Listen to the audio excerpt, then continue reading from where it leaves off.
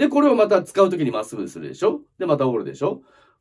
一箇所だけ局所的に金属疲労が起こりやすいので、これもあんまりなと思うんですよ。始まるよはい、おはようございます。パスさんです。今日のテーマ、AC アダプター。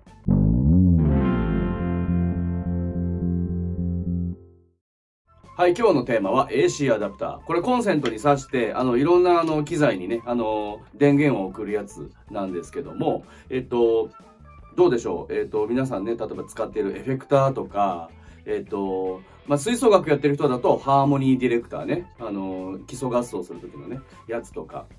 あとは、えっと、まあ、もちろんね、最近のゲームどうなんだろう？ゲーム機とかにもね、よく使われてると思いますが、そういうような、えー、これ全般に言えることなんですけど、よく見ません？この根元をグッて折りたたんで、こういう風にね、グッて折りたたんで、ぐるぐるぐるぐるぐるって回っちゃう人。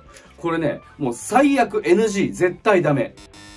うん、ダメです。えっ、ー、とまずここ折れ曲がっちゃうんですよ。ね、この根元がね。折れると断線、ね、電源が入らなくなる原因にもなります。えっ、ー、と、僕が、え、昔教えに行ってた学校で、まあ、ハーモニーディレクターっていうこういうキーボードね、これ、これを使うキーボードがたくさん、えっ、ー、と、並んでるんですけど、もうその横にですね、こいつ、もうここが断線してして死んでしまった奴らの墓場があるんですよ。20個ぐらいあった。あの時は。うん。みんなここにテープを巻きながらなんかこういう風に、あの、うまいこと電源がね、繋がるようにっていう風に、あの、した後があるんだけど、それでももうお亡くなりになっちゃったやつが大量にあったんですけど、あんなことね、僕はならないと思いますね、普通はね。普通はねっていうか、うん。あの、正しい管理をちゃんとすればね。うん。まずこの根元からグッて折るのは NG ね。うん。第一、えー、今日の第一テーマ、折るな。折るなです。えっ、ー、と、折るとやっぱりここで断線しちゃいます。なぜ断線しちゃうかっていうと、これ、針金をさ、例えばグッグッグッグッグッグッグッって同じ場所で折ったり、ね、また逆に折ったりすると、折れるじゃないですか。金属疲労っていうものが起きてですね、やっぱりあの、ブチって切れやすいんですね。これ中には、えっ、ー、と、銅の細い線が束になって入ってるんで、やっぱ、あの、切れちゃうんですね。なので、えっ、ー、と、折るなですね。うん。で、こっちのね、これも折るななんですよ。こういう風に束ねている人いませんか？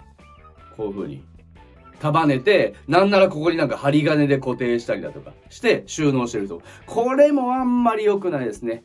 毎回同じとこで、あの、折り癖がついちゃうと、やっぱり金属疲労のもとです。で、折り癖がつくでしょ？ね？で、これをまた使うときにまっすぐするでしょ？で、また折るでしょ？一箇所だけ局所的に金属疲労が起こりやすいので、これもあんまりなと思うんですよ。その次、巻くな。これ第2テーマね。巻くなです。巻いてもダメなんです。じゃあ、ね、ここ根元をちょっと余裕を持たせて、余裕をね、こういう風に持たせて、見えるかな？余裕をね、こういう風に持たせて、じゃあこれ、ま、ね、巻けばいいじゃんってなるじゃないですか。これもね、あんまり良くないですね。うん。巻くと何が良くないかって、これ、巻くことによって、線ってねじれるんですよ。ただ巻くだけじゃないんですよ、これ。ねじれちゃうんです。わかりやすい例で。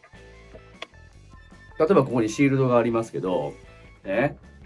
例えば、この、えー、今、ね、プラグが下向きになってますよね。下向きになってるね。はい。これを、絶対よじらないようにね、して一回転させようと思うと絶対無理なんです、これ。こういう風になっちゃうから。ね、これ、見ててね、見ててね、これね。ま、巻こうとした場合、絶対これって、くるっとね、一回転させないと負けないんですよ。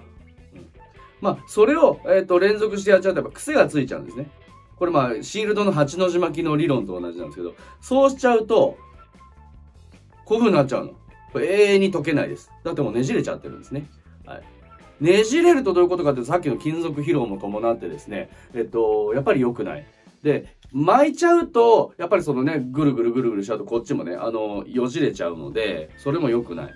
うん。あの、ちゃんとそういうやつはですね、僕ちゃんとよじりを取ってあげてるんですよ。うん。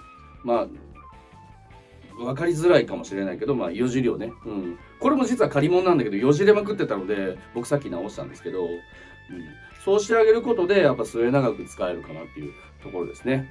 はい。じゃあ、どうすりゃいいんだよどうやって保存するんだよって言うかもしれませんけど、えっ、ー、と、まず最初、えっ、ー、と、折るな。そして、巻くな。でしたよね。その二つを、えっ、ー、と、達成しながら保存する方法。私は、折りも曲げもしません。えー、どうやってやるの？って言ったら、もうこのままくしゃくしゃにしてケースに入れる。これが一番僕ベストだと僕は思ってます。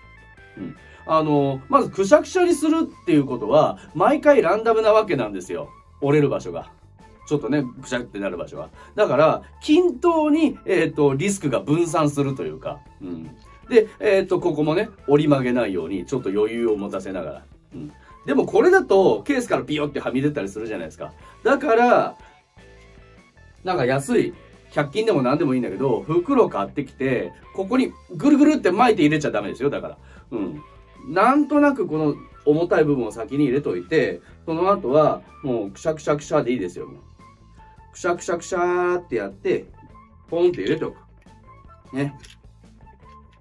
はい。まあ、ポーチでも何でもいいですけど、そうすればピヨってはみ出ることもないし、うん、僕はこういう風にしていつも持ち歩いてます。これが一番、えっ、ー、と、切断、ね、断線するリスクが一番少ないかなと思ってます。うん。何か私はこういう工夫してるよっていうのがあればね、あのー、コメントとかで教えていただきたいですが、で、使用中もやっぱり曲がりがちじゃないですか。こっちのコードは圧倒的に軽いし、こっちは圧倒的に重いし、なので、えっ、ー、と、よく見かけるのは、僕もたまにやるの方法は、こういう風にね、もう余裕を持たせて、こういう風にもう固定しておいて、こっちか。